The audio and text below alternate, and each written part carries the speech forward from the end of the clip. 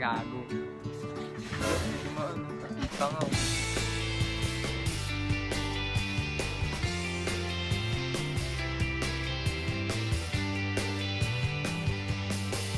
Yo, what's up? It's my first vlog.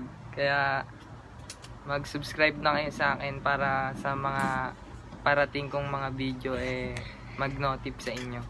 So, click subscribe, like and share. Tsaka pindutin nyo na rin yung bell para mag-notification sa YouTube account nyo.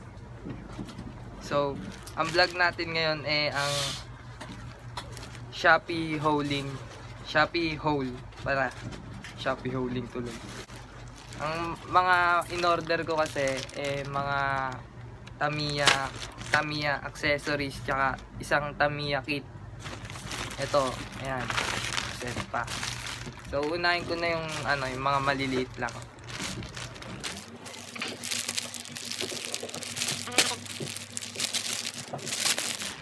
Wow! Nakakabwisit. Ito siya, ano, ultra dash tsaka tsaka mass damper. Yan, kita nyo naman sa video. Okay, isa natin. So, ang Tamiya, nag-start siya nung ano, nung 1980. Unang lumabas yung model niya, yung Stamper 4x4 ata yun. Kung papakita ko na lang sa picture dito pag nakakita ko ng picture. Yung yun yung unang ano, unang labas ng Mini 4WD. So ito yung ano, yung mass damper. Tapos ito yung ultra dash. Ewan kung, kung sana mabilis to kasi ito yung mga gamit nung mga nagtatamiya talaga. So next naman natin yung ano, to? Bumper, yung bumper na in-order ko. Isa. Ilan ba to? 1, 2, 3, 4. Yes. Ito, ito siya. Ito. Kita nyo naman guys. So, yung Tamiya, meron siyang ano, may may 17 types of chassis siya. Tapos, hindi ko sure kung ilan yung ilan yung series na meron ng Tamiya. Pero papakita ko na lang sa inyo yung mga ano, mga types ng chassis dito dito sa dito sa vacanting space na to. So, ayan yung mga So, ito next natin yung ano. Ay, yung mga tornilyo, yung mga screw set.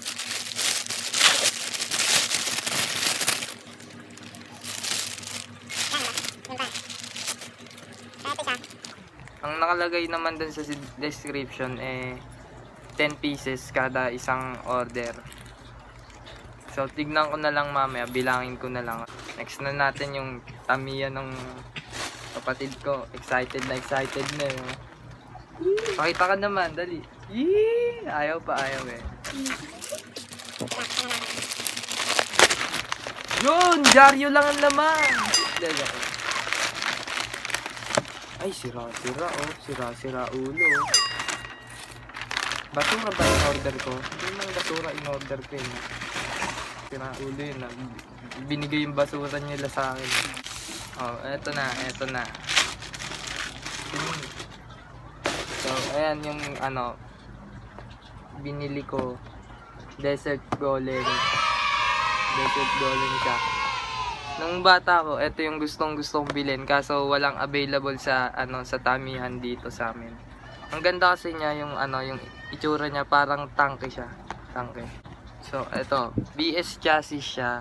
Tapos hindi ko alam kung ano yung Maganda. motor nito pero buksan na rin natin. Ito na. Pagka gusto mong bumili, try namin sa Shopee. Ang nakalagay sa shipping nung sa akin, ano, nakalagay sa shipping ng akin, 7 days siya, pero dumating siya kaagad, so, so ano, mga 3 days lang. 3 days lang. So, ito na. Malupet. Ang ganda nung ano niya, ng texture yung texture nung cowl niya. Ang ganda nung kulay. Tapos check muna natin kung baka may sira kasi. So, ito Tamiya. Pag pag malalaman niyo naman kasi sa Tamiya kung legit talaga siya kapag eto, pag makikita nyo eto, tsaka eto, makikita nyo dyan, yung toaster na yun, Tamiya. Yan.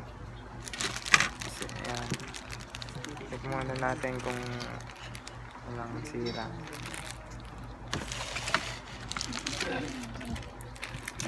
So, eto, ayan. Yung mga gears niya. Pinion gear, uh, rollers, yun. So, ito yung gulong. Kita nyo naman. Ito yung mags. Ito yung bumper sa likod. Sticker. Sticker niya. Pero, ano, kaming mga, yung mga nagtatamiya kasi, tulad ko, hindi masyadong mahilig maglagay ng sticker kasi sa katagalan, pag naluluma na o minsan nababasa yung sticker, nasisira lang, tas natatanggal, dumudumi yung cowl. Sayang lang. So, eto na. Ito yung in-order ko. Ayan. Ito. Tapos, yung Ultra Dash. Tapos, Desert Golem na Tamiya. Tamiya talaga. Legit talaga siya. Alam ko. Tapos, mga screw, screw set. Bumper. Pang ano na to eh. Ah, harap, likod. Tapos, ito nga, yung cowl, tsaka yung internals. Yung screw, tapos yung mass damper. So, yun. Okay naman yung mga na-order ko. Wala naman sira. Tapos, sige, ano na natin, i-assemble na natin yung Tamiya ni ng kapatid ko, yung Desert Golem. So, eto na guys. Ah, ayusin ko na siya. Ginawa ko kasi, pinutol-putol ko muna. Ah, hindi. Tinanggal-tanggal ko muna sa, ano niya, sa frame niya. Para madali ko na nga ayusin. So, bababa ko na lang ng konti yung cam para kita nyo.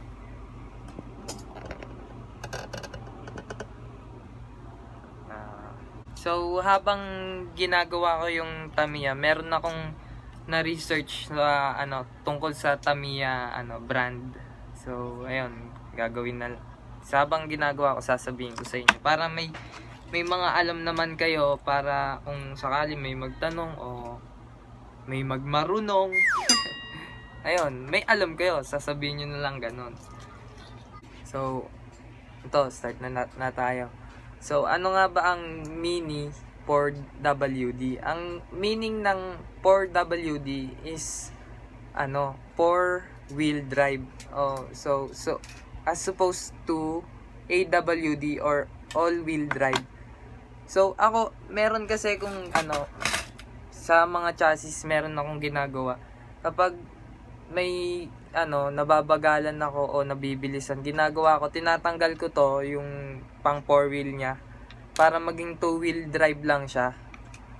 Sana research ko kagabi ang unang nilabas talaga katulad ng sinabi ko kanina yung unang model ng Mini 4WD is yung ano stamp stamper ata yan stamp stamper 4x4 na nilabas siya nung 1980 so kinalaunan nagkaroon ng ano ng McDonald's na Happy Meal na smaller version nun ng Stamper. Nung 18 na, nung 1983 to 1986 So, ano pa ba? Ah, so ang noong 1982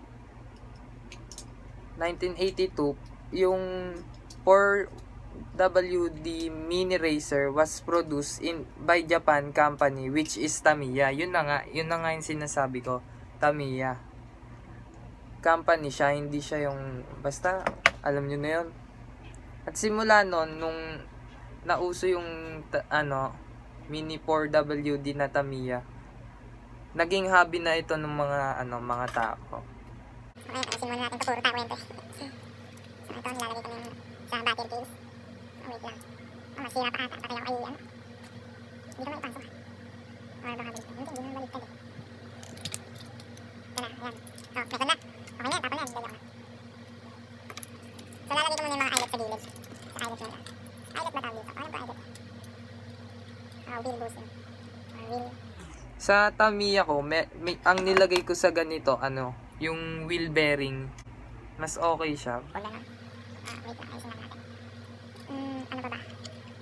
Saan to? Lagay mo na. Lagay ko muna to.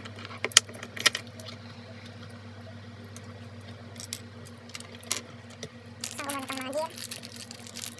Wait, parang walang ano. Ayun, meron pala. Parang hindi high speed yung ano, yung gear niya. Pero parang, pa,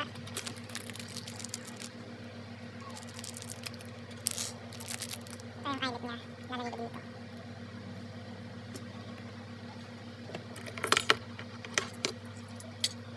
Hindi ko alam pero every time na bibili ko ng Tamiya, ano, sobrang lang isang highlight nila o talagang sinasobran nila kung sakali mang mawala. Ganda ng highlight nito kasi ano, saktuan lang talaga. Hindi siya natatanggal, hindi na lalaglag. So ano pa ba? Ito. Lagay ko muna to. Ay, baliktad. Then, yung switch, lagay ko na din. Oh, mali. Hindi nyo na pala ako makita, no? Sorry, sorry.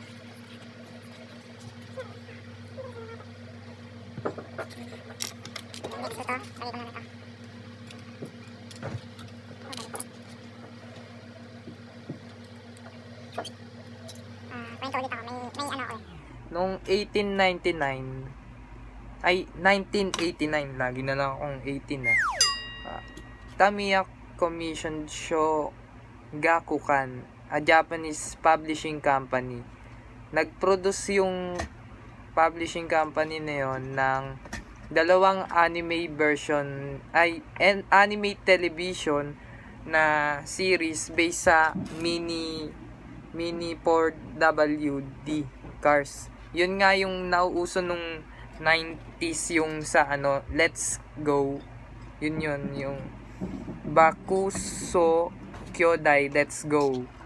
Nagkaroon yun ng 4 seasons. Tapos, yung ano, Dash yon Kuro, yun. Nung, ano, nung 2000, ano siya, nag, kar- naglabas yung mga ano, mga company, siguro mga 28 at least 28 companies 'yon. Yung mga ng mga ano ng mga tawag dito, mini 4WD ng ganon. Parang ano, panibago silang ah, parang competitor sila ng Tamiya. So, yun nga nag karon na nga nung compet competitors yung Tamiya. Tapos yung China naman, yung China. Naglabas sila ng Tamiya cars na clone which is alam naman natin yung mga mga Chinese, mga China mahilig sa mga ganun, yung mga replica, mga clone. Pero mas better talaga na bilhin nyo yung Tamiya, yung mga oldie, yung mga branded talaga, hindi yung clone. Kasi kung yun ang bibilin nyo, marurupok yung mga ano, mga chassis, yung mga internals. Nandito to. Nandito lang muna to, guys. Then, itong gear dito. Ah, wait lang.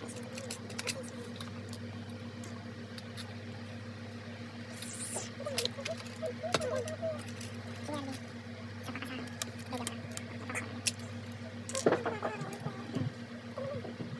Okay lang yan. Wait lang, saan ko ito ilalagay?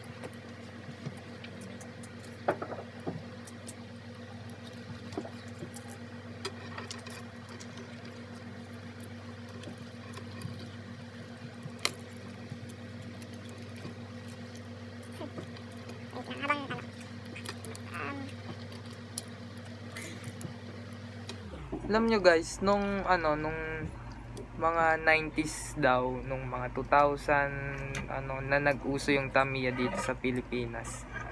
Ah, meron yung mga tito ko na ano, nauuso daw nun yung three wheel, three wheel lang. Pinapalitan nila yung tinatanggal nila yung dalawang gulong dito sa unahan tapos nilalagyan nila dito nung parang bumper tapos yung pinakagulong niya is yung ano, bearings, yun. Katulad ng sabi ko kanina, ang Tamiya is meron silang 17 kinds of ano chassis. Meron sila yun nga yung mga MA, MS, MAAR, tapos Super 1, Super 2, Super X, Super XX, tapos BS, TSA, TSA X, tapos Super FM, Super FMA chassis, tapos Type 1, Type 2, Type 3, Zero chassis, TR1. Yung anong yon yung limang yon yung Type 1, 2, 3, tapos yung Zero chassis, tapos TR1 chassis. Wala na akong masyadong nakikitang ganun. Wala na akong masyadong nakikitang chassis na ganun. Kaya, nag-search na lang ako. Papakita ko na lang dito. Eto. Ayan. Hmm. Yun. Meron silang series. 8 series sila meron. Una, Racing Mini 4WD series noong noong 1986. Sunod yung Super Mini series. Um, 1993. Ang pangatlo is yung Fully Cowled which is yung ganun nga yung ano tami Tamiya ko ngayon. Ito siya, Fully Cowled, yung Black Saber. 'Yon. Tapos Aero ah, sorry, yung fully cowled, ano, 1994, lumabas siya. Tapos, Aero Mini Series, ano, 1996. Tapos, yung R slash C Mini Series, noong 2003, hindi siya masyadong nag, hindi siya masyadong nag-click, kaya, parang, ano, natigil siya. Kaya siguro hindi na ako nakakita ng ganong TR1. Kaya ano, kasi wala na nung ano, R slash C mini series. No, ano yun, 2003. Tapos, Mini 4 WD Pro Series 2005. So, sunod, uh, Real Machine Series 2005 din. Magkasunod lang sila. Tas Mini 4WD yung Rev. Yun yung pinakalas na series nila yung noong 2012. So yun guys, yun lang masasabi ko na mga na-research ko. By 2012, yung Mini 4WD is popular in more countries including Thailand, Singapore, South Korea, Canada, Germany, Italy, Russia, India, and China. Yon.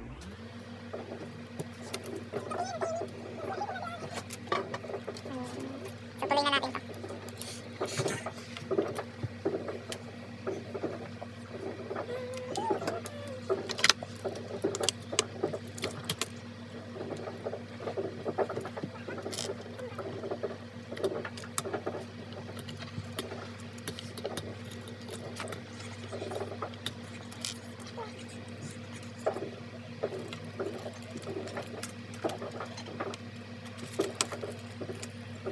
Matataas, ba't ang haba ata nito? Ay, hindi, sakto lang pala.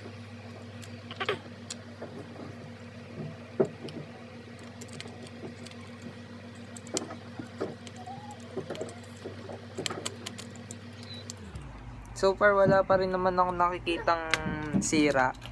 So, thumbs up dun sa binilihan ko talaga. Sa mga ano, ah, store nun sa Shopee. Doon kayo bumili. So, i-indicate ko na lang sa description sa yung mga pangalan nung ano, nung mga yon. Ito, malapit na. Hindi na makapaghintay yung ano, kapatid ko. Binabantayan talaga. Ito na, sa kaul na.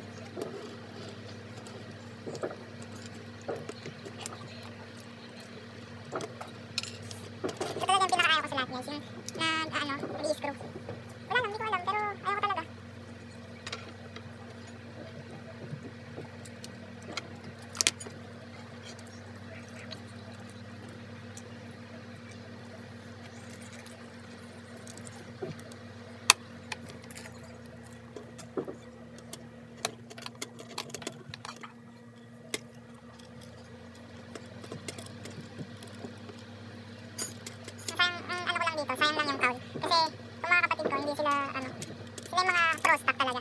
Hindi sila, ano, speed tech. Maging pro stock lang sa kanila. Yun lang.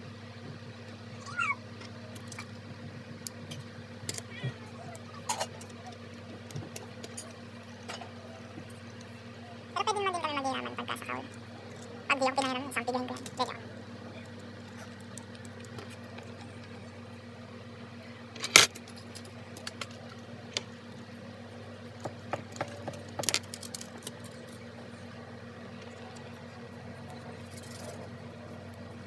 Guys, kami pag nagamit kami ng ano ng rollers, rollers na plastic, yung may, may ano may ganito, may tawag dito, may rubber. Hindi namin nilalagay kasi ano, parang ang bagal niya sa racetrack. Kasi ano, nakapit yung rubber dun sa racetrack. Siyempre nakapit pagka ano. So yun, hindi talaga namin nagamit. Hindi namin nilalagay.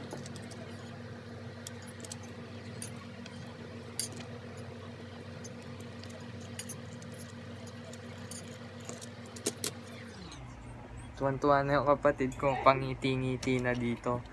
Nakikita niya kasing patapos na. Ang tanong, magagamit mo ba?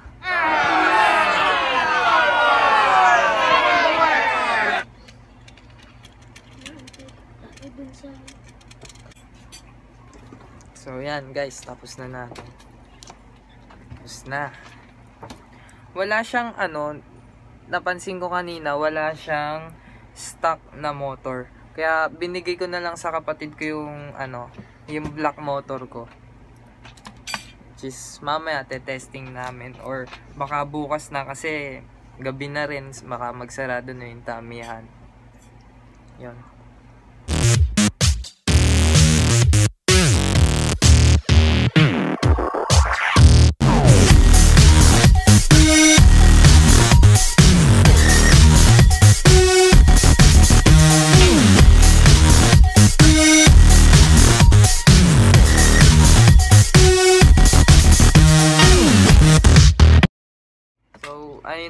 Tatry ko ngayon naman yung ano, yung motor na binili ko, makina. Yung, which is yung Ultra Dash. So, eto. Titignan ko lang kung pino naman yung tunog niya or mabilis. Kasi yung black motor hindi masyado mabilis para sa akin. So, eto. Okay naman siya. Maganda naman. Tingin ko. Sana hindi tayo na peke. Sana hindi tayo na peke. Mabagal, mabagal guys. Peke, peke. So, sa racetrack na lang bukas, te-testing ko to guys. So, yun na nga guys. Ito yung Tamiya namin. Tamiya ko. So, ito pa, ito pa, Tamiya. Ito pa. And, ito, ano ba tong ano? FMA to, chassis. FMA chassis. Tapos, ito, ang Super XX chassis. Ito naman ang BS chassis. Then, ito ang Super X chassis. Yon, guys. So guys, thank you for watching. Um this is my first vlog, guys. So sana sana tumas yung views nito kasi ito yung unang video ko sa YouTube. Then sana yung kayong mga nanonood kayo, mag-subscribe kayo sa akin tapos like and share then yung comment kung may may kulang ako sa mga sinabi ko kung may mali or kung ano man. Tapos click na click the bell button na rin para ayos tayo dyan mga chong. Um, ano ba ba? Okay na guys. Sige next time ulit. Sa susunod